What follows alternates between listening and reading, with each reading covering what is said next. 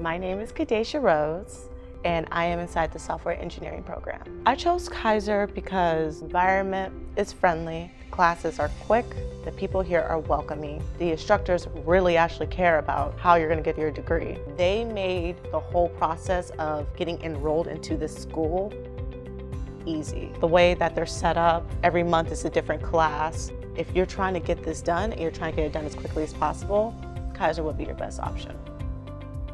Keiser was a great fit.